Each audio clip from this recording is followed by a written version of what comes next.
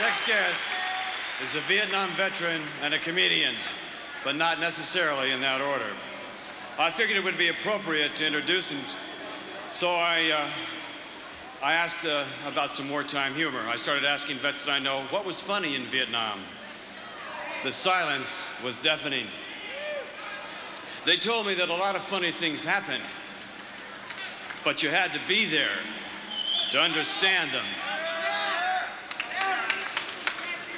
Besides, being funny was always secondary to knowing how to duck fast. Since I don't make my living telling jokes, and he does, I'm going to give him out right now. Ladies and gentlemen, Blake Clark.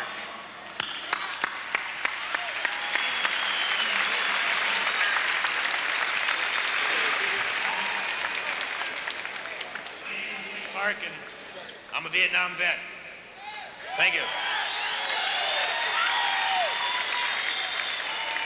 I was, uh, I was born and raised in Georgia, and I fought in Vietnam.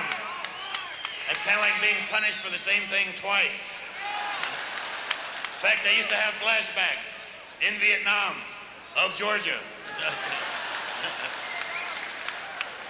As you people well know, it's, it's not easy being a Vietnam vet, even in 1987, even in the PR era, post-Rambo.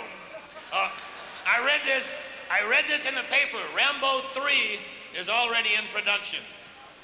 Boy, have my prayers been answered. The article, the article went on to say that the plot would not be divulged. I don't think it'll be divulged during the movie, okay? I saw.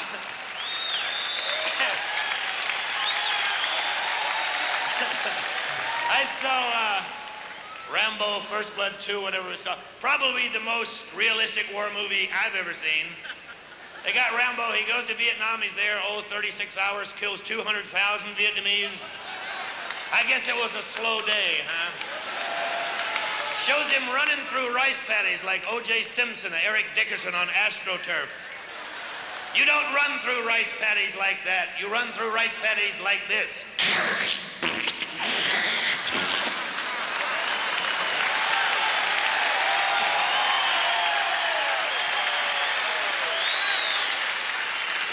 Have taken Rambo five years to run through that many rice paddies. Mortar rounds are bursting like 10 feet from him. He just runs around them. Why didn't we think of that, guys, huh?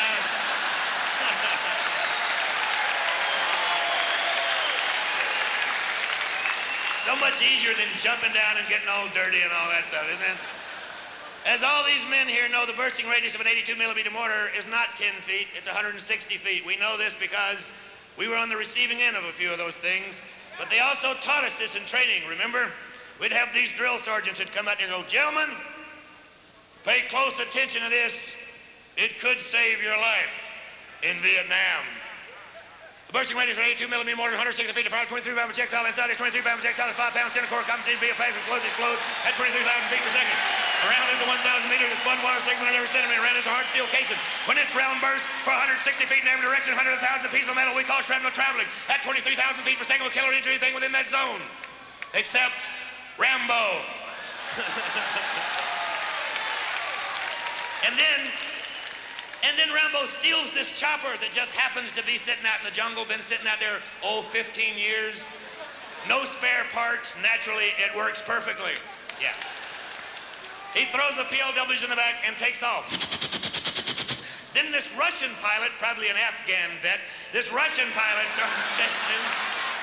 Something that looks like a TIE fighter left over from Star Wars, shooting heat-seeking missiles at him, can't hit him. A heat-seeking missile will find your butt five miles away if you had Mexican food, but it can't hit Rambo right in front of him. Yeah, I'm stupid as speak.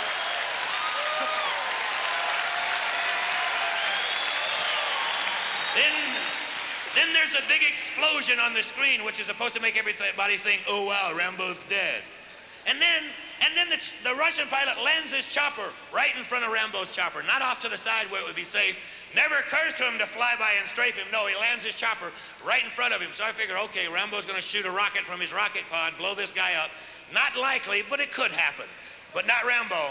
No, he whips out a law, a light anti-tank weapon. like the old World War II bazookas and fires it through the broken plexiglass window.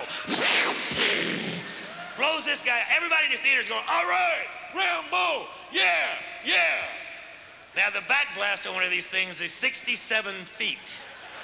Nobody's even thinking of these POWs sitting directly behind him.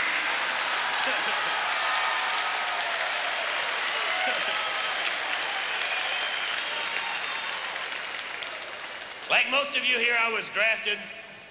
Like most of you, when I got my draft notice, I went. A lot of my friends chose to go ROTC, which is run over to Canada, but I didn't do that. See, I thought there were laws and rules and stuff.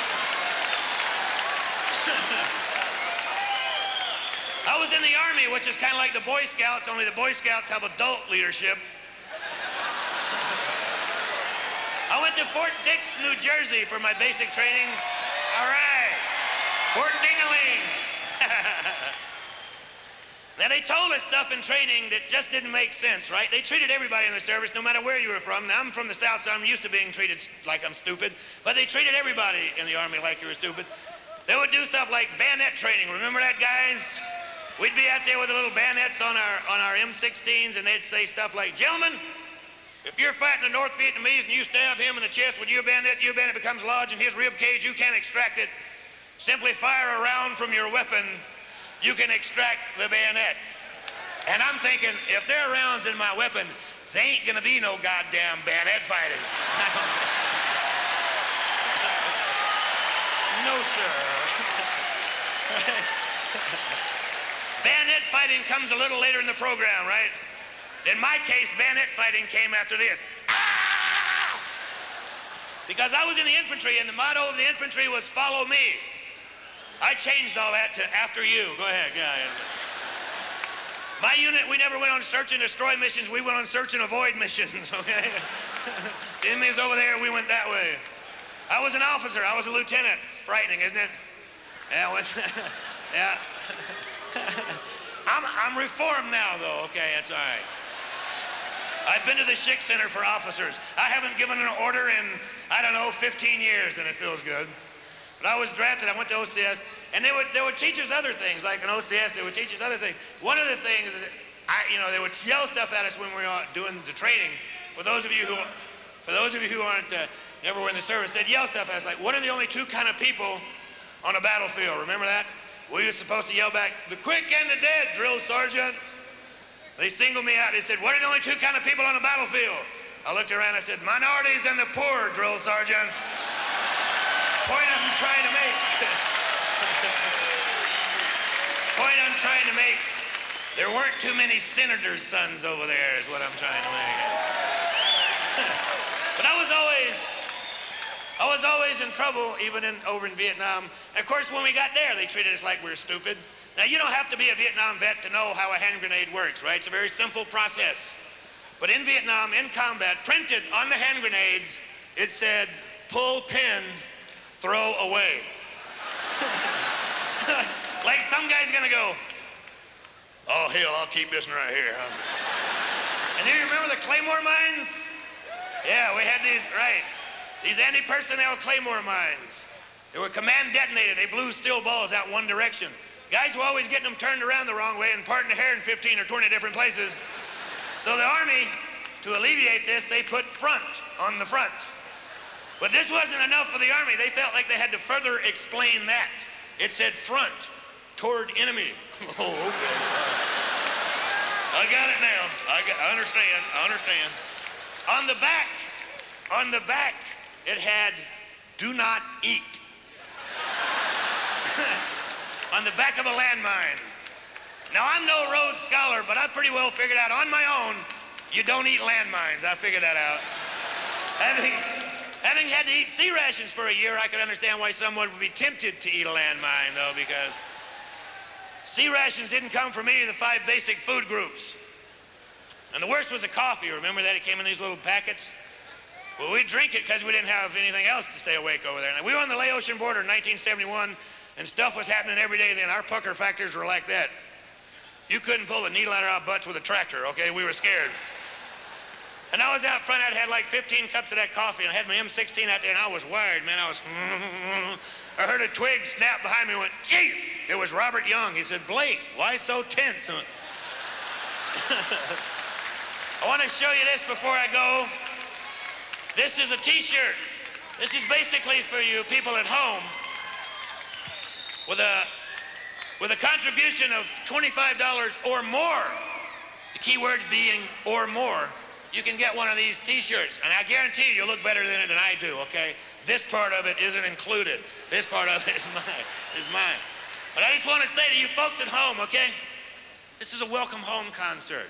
There are Vietnam veterans right here. This is not about Vietnam. This isn't about Democrats or Republicans. This isn't even about these great and wonderful stars who've given of their time. It's about these people right here and these people right here.